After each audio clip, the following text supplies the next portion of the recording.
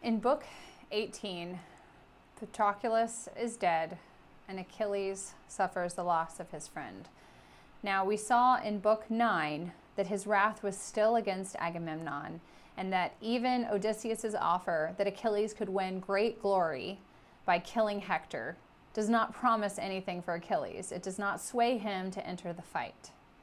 Now we are nine more books in. So if we imagine a three day festival, we are probably at the end of day two.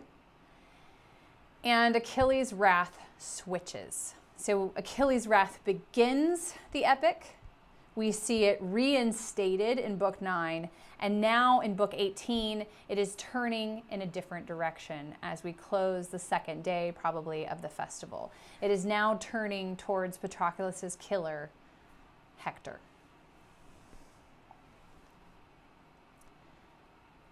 Homer describes Achilles' grief this way A dark cloud enveloped Achilles. Taking with both hands the fire blackened ashes, he poured them upon his head and defiled his handsome face. But now, Patroclus, since I am following you beneath the earth, I shall not honor you with funeral rites until I lay here the armaments and head of Hector, your slayer, great hearted one.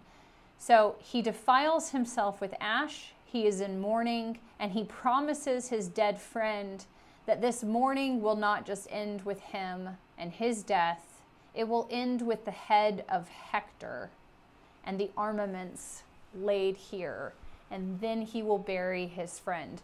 This seems uh, inordinate amount of grief here. People have talked about the way that he defiles himself, that he turns himself into darkness, that he, in a sense, becomes almost death, blackness, darkness, almost a monster with these ashes upon him, destroying his handsome appearance, destroying anything that was godlike about him by defiling himself with these ashes and changing who he is.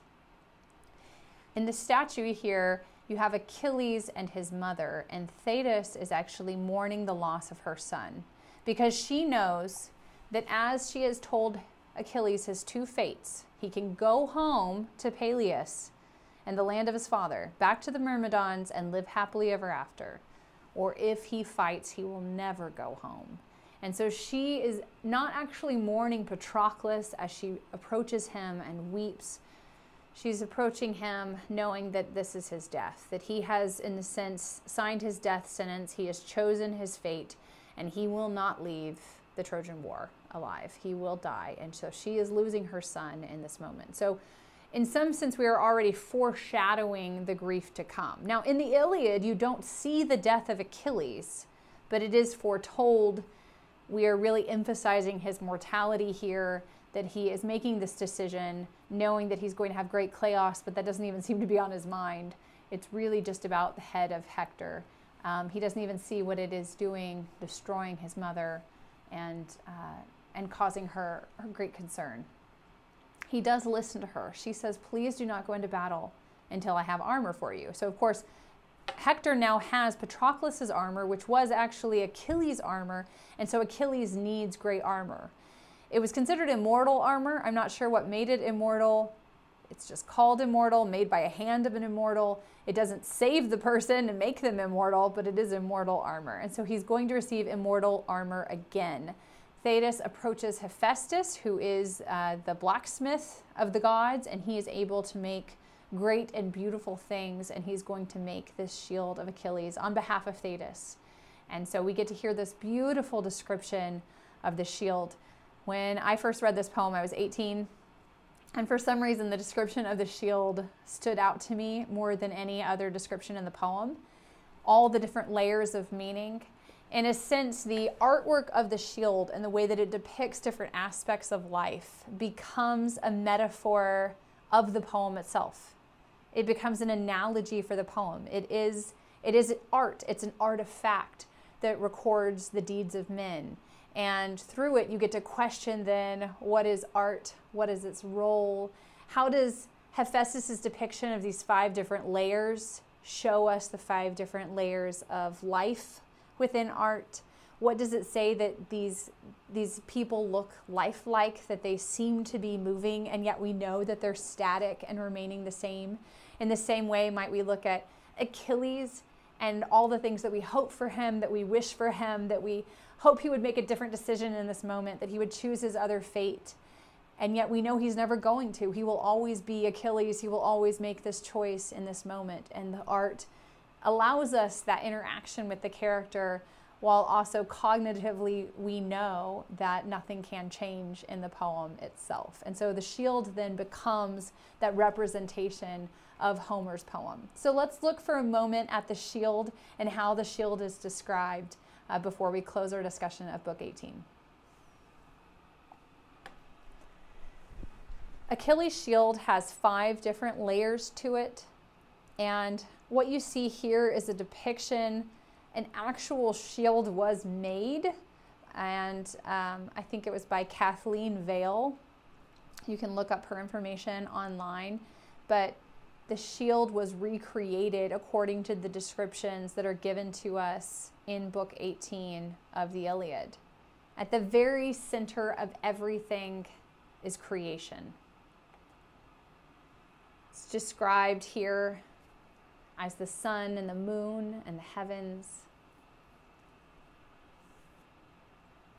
Creation, the starting point of everything, the beginning in the center of the shield. It's the beginning of the story.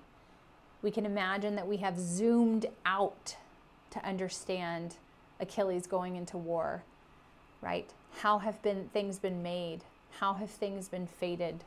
The shield is telling you where you fit within a larger story. The next ring is the civil inner life. We have people getting married. We have people cheering. We have things that go on in your normal day to day. Then there's war. This, of course, is where the Iliad is. If we look at a connection between on one side, the Odyssey, in some sense, is being described here, the civil life, and the Iliad is the war life. And then peace, war and peace.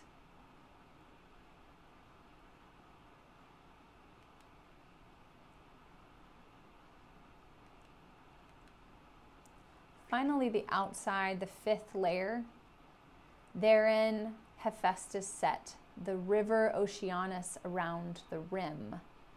The way that people envisioned the world was that it was a flat circle, and thus the ocean was the river that went around the entire world and kept everything within bound.